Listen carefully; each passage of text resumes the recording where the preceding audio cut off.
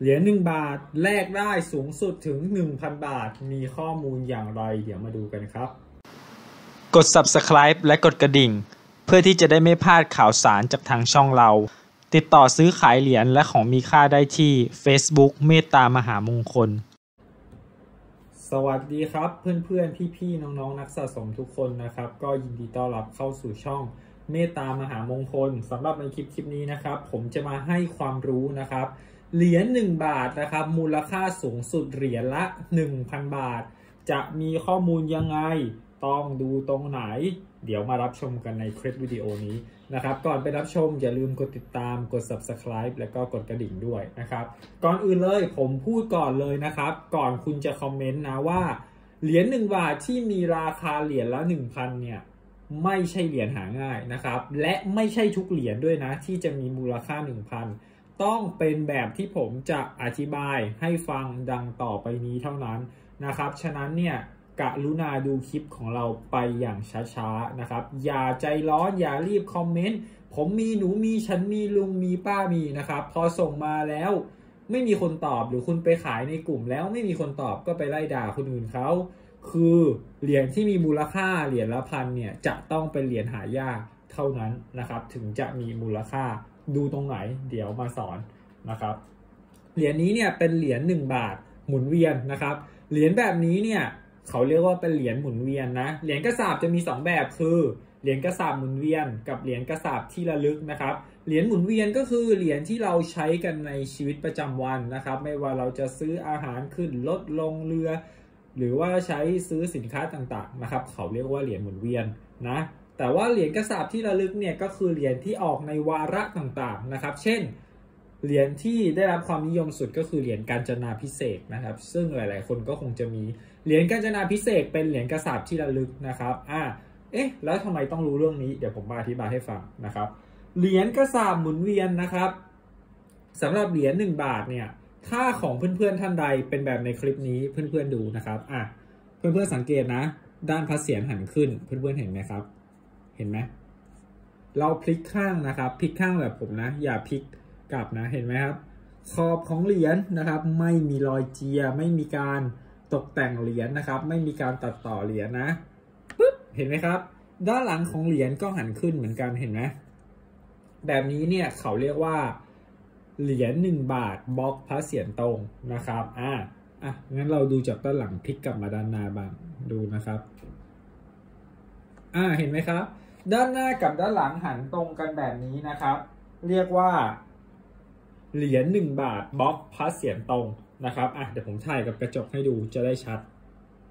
เห็นไหมครับ ด้านหน้าก็หันขึ้น ด้านหลังก็หันขึ้นแบบนี้ เรียกว่าเหรียญบล็อกพระเศียรตรงนะครับสำหรับเพื่อนๆ พี่ๆ น้องๆ ท่านใดนะครับ ที่มีเหรียญ1บาทนะ ไม่ว่าจะปีพศใดก็แล้วแต่นะครับ ต้องเป็นเหรียญกระสาบหมุนเวียนนะครับบล็อกพระเศียรตรง นะสภาพสวยๆ ไม่ผ่านการใช้งานใด ๆนะครับ ราคาในวงการนักสะสมตอนนี้เนี่ยสูงสุดอยู่ที่เหรียญละ 1,000 บาทกันเลยทีเดียวนะสำหรับสภาพสวยๆ และไม่ผ่านการใช้งานนะครับ ต้องเป็นเหรียญหมุนเวียนเท่านั้นนะครับเหรียญที่ระลึกแบบเหรียญกาญจนาเนี่ยเป็นเหรียญพระเศียรตรงอยู่แล้วนะเหรียญกาญจนาบล็อกพระเศียรตรงราคาคือไม่แพงนะครับ ไม่ถึง 1,000 บาทนะครับสำหรับเหรียญ1บาทกาญจนานะ แต่ว่าเหรียญ1บาทหมุนเวียนแบบเหรียญนี้นะครับ เหรียญ1บาทหลังวัดพระแก้วแบบนี้เนี่ยที่เป็นเหรียญกระสาบหมุนเวียนเนี่ยถ้าไม่ว่าจะปีพศใดก็แล้วแต่นะครับ ถ้าเป็นเหรียญบล็อกพระเศียรตรงนะราคารับซื้อในวงการเนี่ยสูงสุดถึงเหรียญละ 1,000 บาทนะครับสำหรับสภาพสวยๆนะก็หวังว่าเพื่อนๆจะเข้าใจตรงกันนะครับเหรียญกระสาบหมุนเวียนบล็อกพระเศียรตรง นะครับ สภาพสวยๆ ปีพศใดก็แล้วแต่นะ ถ้ามีนะครับบล็อกพระเศียรตรงเนี่ย ก็ราคาสูงสุดอยู่ที่ 1,000 บาทสำหรับเหรียญกระสาบหมุนเวียนเท่านั้นนะครับ ส่วนเหรียญที่ระลึกเนี่ย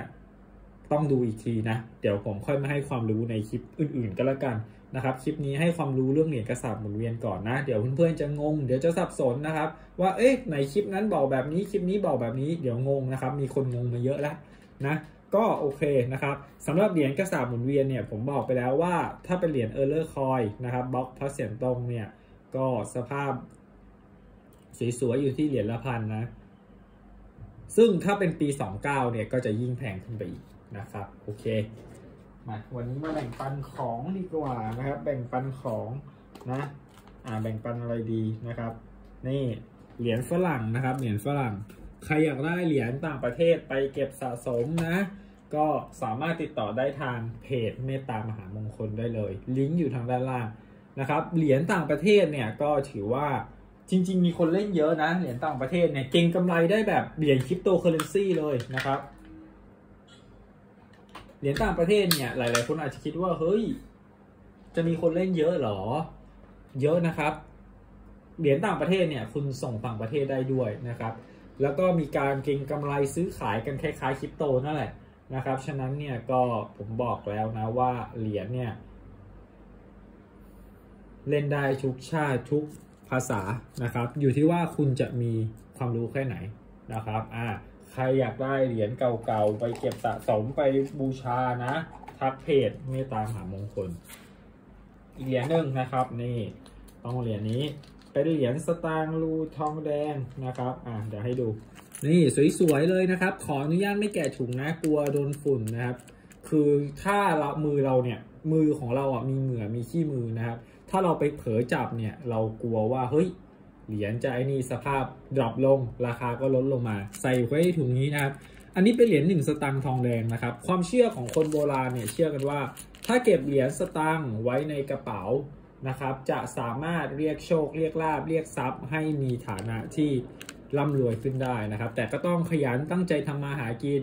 นะก็แต่ต้องสวดคาถาเงินล้านหรือหัวใจคาถาเงินล้าน มิเตพาหุหตินะครับหกคำเองมิเตพาหุหตินะครับ ก็จะช่วยได้นะครับ ก็ใครอยากได้เหรียญนี้นะ ทักมาที่เพจได้เลยเมตตามหามงคลนะครับ ร้านเรายินดีแบ่งปันเหรียญ ให้เสมอนะครับสำหรับคนที่สนใจนะ คนที่อยากเก็บสะสมอยากเป็นเจ้าของเหรียญนะครับ แล้วก็อีกเหรียญหนึ่งนะที่มาแรงตลอดการคือเหรียญพญาคุดนะครับ เหรียญนี้จะเป็นของปี 25 นะ อันนี้เป็นบล็อกธรรมดานะครับบล็อกหายากเนี่ยราคาเป็นแสน แต่บล็อกธรรมดาราคาอยู่ที่หลักสิบหลักร้อย อันนี้บล็อกธรรมดานะครับ ใครอยากได้นะ ทุกวันนี้เนี่ยวัตถุมงคลพญาคุดผมพูดเลยนะครับ ว่าราคาแพงนะครับ บางที่เนี่ย หลักร้อยหลักพันแล้ว แต่เหรียญนี้ยังไม่แพงมากนะ เพื่อนๆท่านใดสนใจบูชาติดต่อเพจได้เลยนะครับ เมตตามหามงคลให้ดู ด้านหน้าก็เป็นรูปของในหลวงรัชกาลที่ 9 นะครับ ด้านหลังก็เป็นตาองค์พญาครุดกลางปีกนะ ปี 25 เนี่ยเป็นคู่ท่าดินนะครับ 25 หมายถึงความมั่นคง ความเป็นปึกแผ่น